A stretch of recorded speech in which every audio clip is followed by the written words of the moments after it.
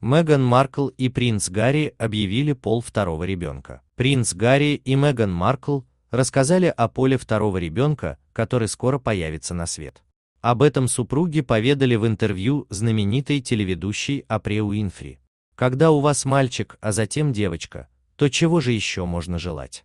Наша семья, нас четверо и две собаки, сказал принц.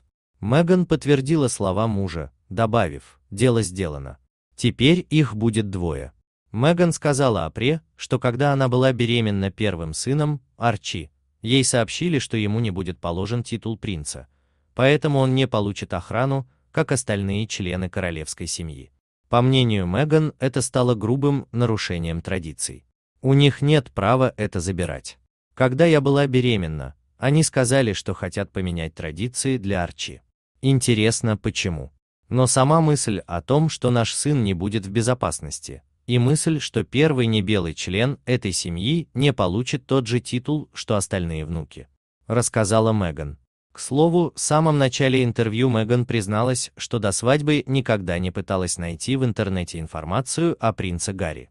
Она добавила, что, разумеется, знала о королевской семье, но никогда не интересовалась подробностями их жизни.